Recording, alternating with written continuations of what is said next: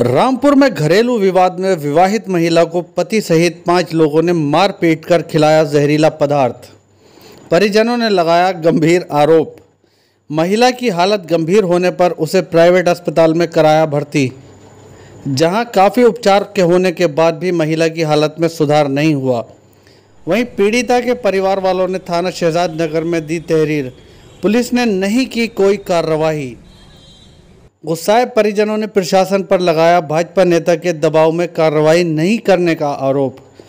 वहीं इस घटना पर थाना शहजाद नगर प्रभारी ने कहा कि तहरीर मिल चुकी है। घटना की निष्पक्ष जाँच कर मेडिकल के आधार पर कार्रवाई की जाएगी। Bureau report Q TV Bharat Uttar Pradesh Uttarakhand. सास ने मेरे हाथ पकड़े ससुर ने मेरे हाथ पकड़े देवर ने मेरा गला दबा दिया। अच्छा।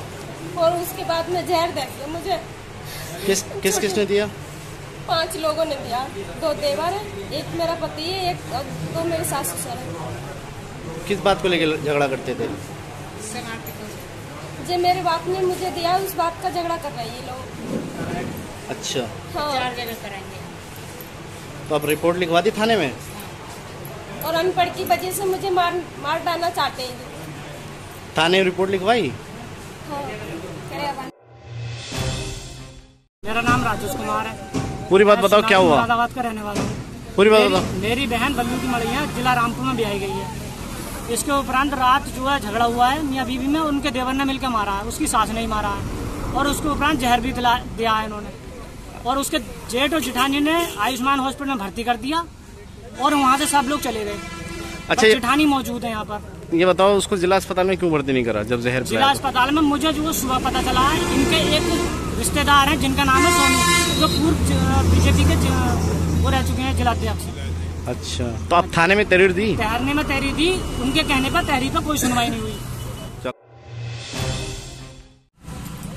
झगड़ा हुआ है इनमें तो इसके देवर स- सास ससुर जहर दिया। आदमी। और आदमी। ने किस बात को लेके दिया है? किस बात को लेके दिया है? इनमें विवाह चल रहा करीब दस बजे से मेरे घर पे थी ये चार लोगों ने विवाह दी पंचायत में।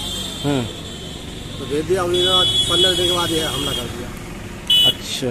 तो मारपीट किस बात को लेके? पहले भी मतलब शादी को कितना टाइम हो गया? शादी चौदह साल हो गए। चौदह साल हो गए। बच्चे कितने हैं? चार। तो मतलब इनमें पति पत्नी में विवाद होता था? पहले नहीं हुआ कभी। अब हुआ है? अब हुआ जब तक छोटे भैया की शादी हुई जब से नहीं है कोई सुनवाई नहीं हो रही है? क्यों नहीं हो रही है? ये बीजेपी के जैसे नेताजी जी वजह से नहीं हो रही। क्या नाम है आपका?